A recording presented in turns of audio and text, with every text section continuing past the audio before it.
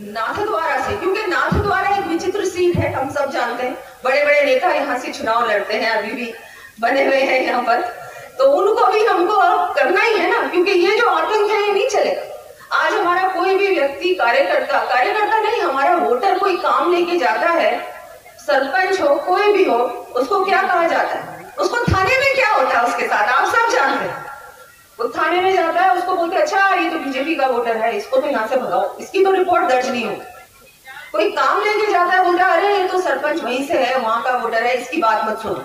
इसके गाँव में कोई पैसा नहीं आना चाहिए।